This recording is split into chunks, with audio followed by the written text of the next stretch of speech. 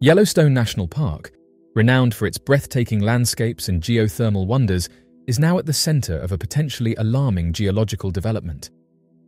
Amateur researchers and avid watchers of the park's live cameras have observed a large bulge forming beneath the park, sparking concerns that a significant geological event may be brewing.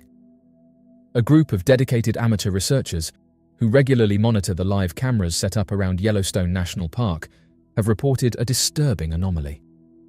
These enthusiasts noticed the emergence of a dome shaped bulge beneath the park's surface, a phenomenon that seemed to develop over several months. Intrigued and concerned, they began to systematically document and analyze the changes they observed. To substantiate their claims, the researchers collected and compared photographs from several months ago with more recent images. The comparison revealed a noticeable increase in the bulge's size and prominence. This evidence suggests that the ground beneath Yellowstone is rising, potentially due to magma accumulating in a subterranean chamber. The consistency and clarity of these photographic records have lent credibility to their observations. Yellowstone National Park sits atop one of the world's largest active volcanic systems. The Yellowstone caldera, often referred to as a supervolcano, has experienced three major eruptions in the past 2.1 million years, with the most recent occurring approximately 640,000 years ago. These eruptions were cataclysmic, significantly altering the landscape and impacting our planet. The Yellowstone volcanic system is continuously monitored by the United States Geological Survey and other scientific bodies. Regular seismic activity, hydrothermal explosions, and ground deformation are part of the region's dynamic geological environment. However, the formation of a large bulge suggests a more significant and potentially hazardous development. The most straightforward explanation for the bulge is the accumulation of magma beneath the park. As magma rises from deeper in the Earth's mantle, it can create a dome-shaped uplift on the surface. This process is not uncommon in volcanic regions and can precede eruptions. The photographs showing the increasing size of the bulge support this theory, indicating that a substantial amount of magma may be pooling in a subterranean chamber. Another possibility is that the bulge is the result of increased hydrothermal activity. Yellowstone is known for its extensive network of geysers, hot springs, and fumaroles, all of which are driven by the heat from the underlying magma. Changes in the hydrothermal system, such as the pressurization of underground water reservoirs, could also cause surface deformation. However, the dome-shaped structure and its steady growth suggest that magma accumulation is a more likely cause. The primary concern raised by the formation of the bulge is the possibility of an eruption. While Yellowstone's volcanic activity is closely monitored, predicting eruptions remains an inexact science. If the bulge indicates that a significant volume of magma is accumulating, the risk of an eruption could be increasing. An eruption at Yellowstone could range from a minor event, releasing ash and lava locally, to a catastrophic super-eruption with global consequences. An eruption at Yellowstone, particularly a large one, would have profound environmental and human impacts. Locally, it could devastate the park and surrounding areas, destroying habitats and communities.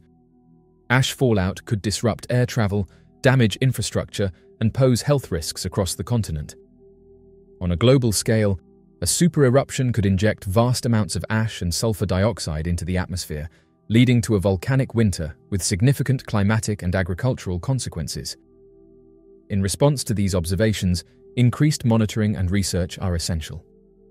The United States Geological Survey and other scientific institutions should enhance their surveillance of the region, employing tools such as satellite imagery, ground-based radar, and seismic sensors to gather more detailed data. Collaborative efforts between amateur researchers and professional scientists can also help validate and expand upon the initial findings. Raising public awareness about the potential risks associated with Yellowstone's volcanic activity is crucial. While it is important not to incite panic, providing accurate information about the current situation and potential scenarios can help communities prepare for any eventuality. Public education campaigns and emergency preparedness plans should be developed to ensure that people understand the risks and know how to respond in the event of an eruption. Scientists have recently said that there is a surprising amount of magma under Yellowstone's supervolcano. New research published in the journal Science suggests that one of the magma reservoirs beneath the Yellowstone caldera, a large crater and supervolcano, contains a greater amount of liquid molten rock than previously believed by experts. Researchers can gauge the proximity of a volcanic eruption by assessing the quantity of molten rock present beneath the volcano. However, despite the possibility of a larger amount of molten lava beneath Yellowstone than previously estimated, the colossal volcano is still improbable to erupt in the foreseeable future. Magma is composed of rocks and crystals at different degrees of firmness. The higher the level of liquefaction, the greater the likelihood of a volcanic eruption. Beneath the Yellowstone caldera, there are two substantial reservoirs containing magma. The first reservoir is located approximately 3 to 10 miles beneath the surface, while the second reservoir is situated 12 to 30 miles underground. According to prior studies, scientists believed that the shallower reservoir consisted primarily of solid material, with only 5 to 15% of it being molten rock.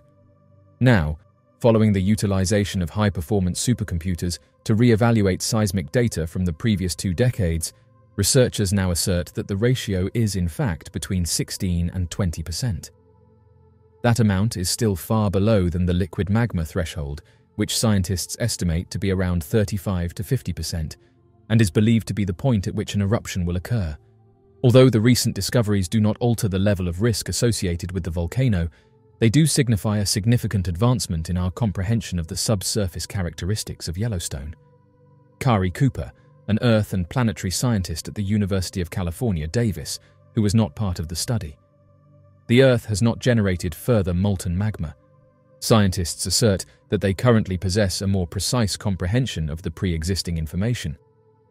Seismic waves, generated by seismic activity, traverse several strata within the Earth's interior prior to reaching seismometers located on the Earth's surface.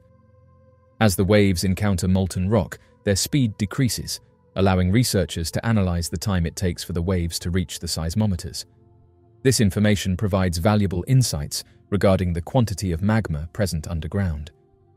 Previous investigations have made the assumption that seismic waves propagate in a straight path from the earthquake towards the seismometer. However, the actuality of their adventure is considerably more intricate than that. For this study, scientists utilized supercomputers to simulate seismic waves in three dimensions. This approach provided them with a more comprehensive understanding of the crystal mush beneath Yellowstone Ground deformation, or changes in the Earth's surface elevation, is another critical indicator of magma movement. Scientists use GPS measurements and satellite-based radar to monitor these changes.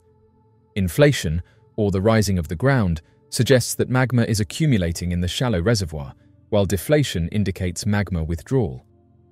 These measurements help scientists estimate the amount of magma moving into or out of the reservoirs, offering insights into the overall magma volume.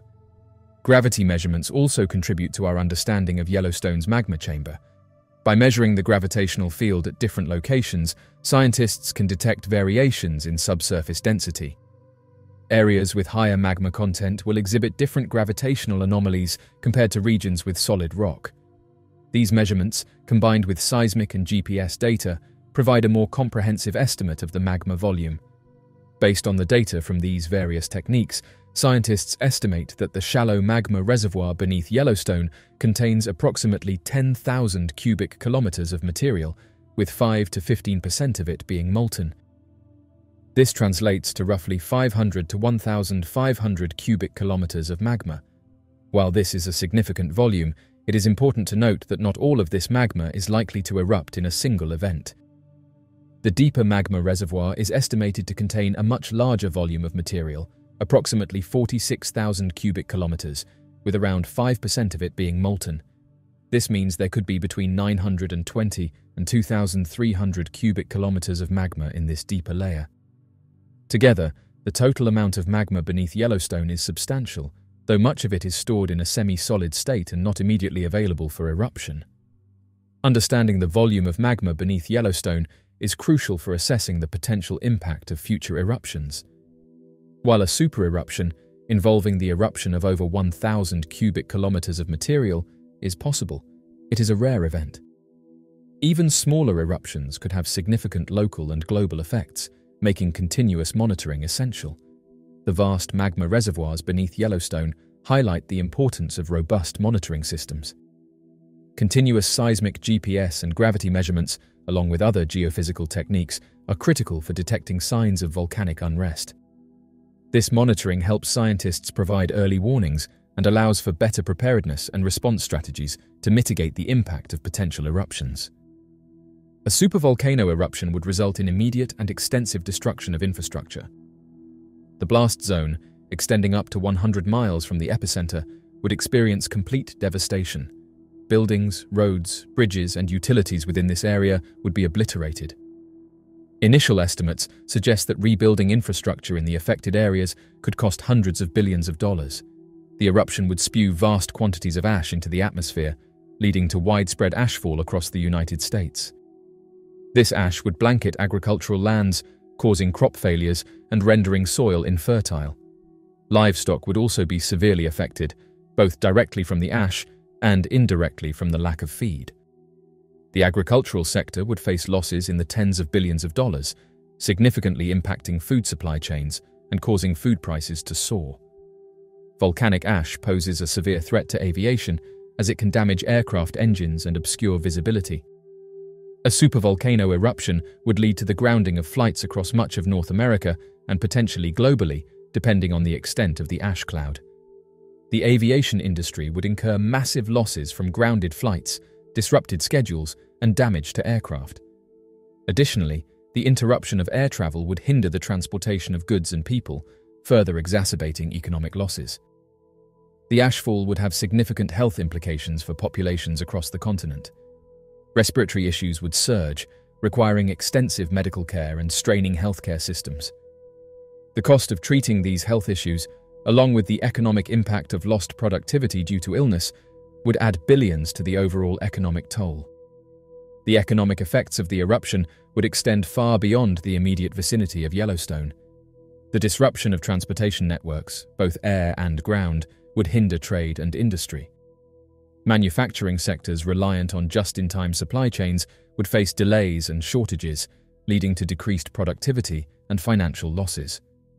The broader economic impact could push the global economy into recession as businesses struggle to cope with the disruptions.